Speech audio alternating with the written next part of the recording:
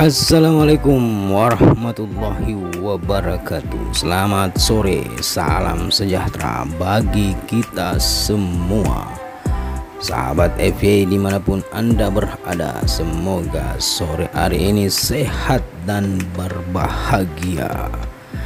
Kali ini kita akan membahas tentang manfaat aerator untuk ikan nila.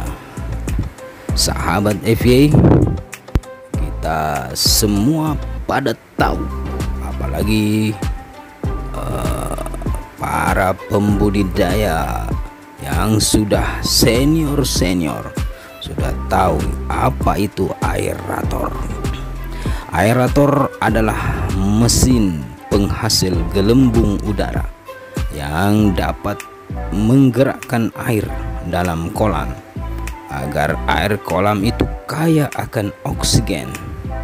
Alat ini sangat penting untuk kita gunakan dalam pemeliharaan ikan yang kita lakukan.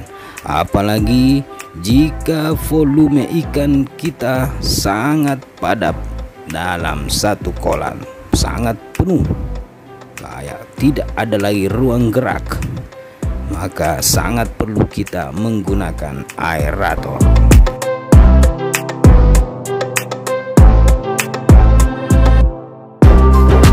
Selang-selang yang kita lihat ini adalah selang-selang yang mengalirkan udara uh, selalu menjadi bagian tidak terpisahkan dari berbudidaya atau memelihara ikan air tawar ataupun air laut.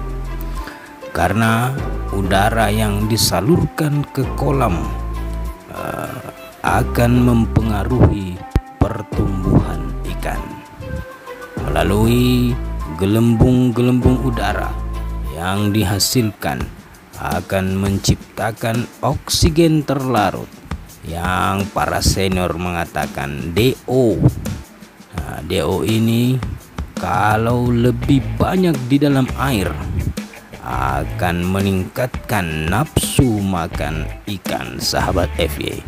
Kalau nafsu makan ikan sudah sangat bagus, maka e, pertumbuhannya akan cepat dan penyakit pun tidak akan mudah menyerang. Sebaliknya jika tingkat oksigen sedikit, maka yang muncul adalah sedimentasi di dasar kolam hingga terbentuknya gas beracun yang dapat membunuh ikan-ikan kita sahabat FY Oke sahabat FY untuk pembahasan manfaat aerator untuk ikan nila cukup sampai di sini kita akan lanjutkan bagaimana memilih aerator yang baik nanti kita bahas di konten-konten selanjutnya Assalamualaikum warahmatullahi wabarakatuh. Jangan lupa like, comment.